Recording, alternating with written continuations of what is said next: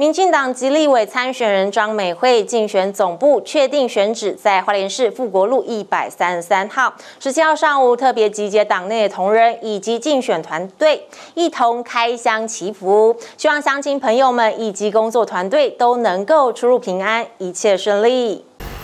民进党籍立委参选人张美惠竞选总部确定选址在花莲市富国路一百三十三号。十七号上午，除了立委参选人张美惠，也包括荣誉主委卢伯基、荣誉副主委叶仁基、副主委江淑君、总干事林正立、行政院东福中心副执行长郭英义、民进党花莲县党部主委严先忠、花莲县信赖台湾姐妹会会长吴美珠、花莲县议员胡仁顺、林哲师、市民代表庄一杰、欧燕志、吉安乡民代表黄登科等多人。人一同到场进行开箱祈福。那其实呃，玫瑰在找寻竞选总部的过程当中，呃，是很多的呃挑战哦，可可以说是挑战重重。但是呃，也很开心，呃，最终哈经虽然经过一些波折，但是我们还是顺利的找到这个位置。非常感谢这个支持的这个乡亲哦，他愿意提供出来。今天我们也特别来祈福来参拜哦，也跟呃上天说。我们的总部在这里，